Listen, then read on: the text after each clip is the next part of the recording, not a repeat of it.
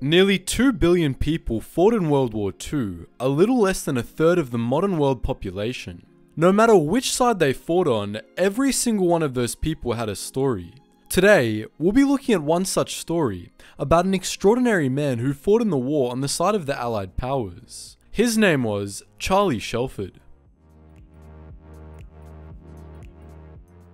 Shelford was of Maori descent, born in New Zealand in August of 1920. His father died in 1932, and because his mother wasn't a reliable parent, he was raised by the community. In 1939, not long after the outbreak of the war, Shelford enlisted with the 28th Battalion. Shelford wasn't exactly a model soldier, army life didn't really suit him, and he was considered ill-disciplined by his superior officers. As a result, he was left behind in detention when his unit was deployed overseas. He eventually completed his training, received the rank of private, and was shipped off to Egypt to serve in the Allied campaign in northern Africa. He continued his insubordination there, and constantly got in hot water for drunkenness and his aggressive tendencies. Such tendencies, however, served him well on the battlefield. In December of 1941, his battalion was deployed against an Italian unit in Gazala, Libya.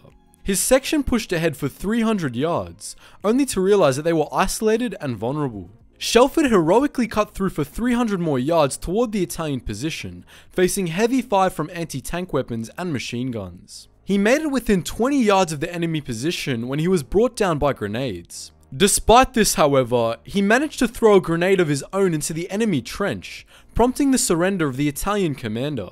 Shelford was recommended for the Victorian Cross for his actions, though he ended up receiving the DMC instead. Despite his newfound recognition as a hero, Shelford continued to be disruptive, and constantly went AWOL during quiet periods to infiltrate German lines and raid their weapons supplies. He built up a sizable cache of stolen weapons and sold them on the Egyptian black market, and also gave out pistols to New Zealand non-combatants. Shelford served until his return home in October of 1944, and was discharged in February of 1945.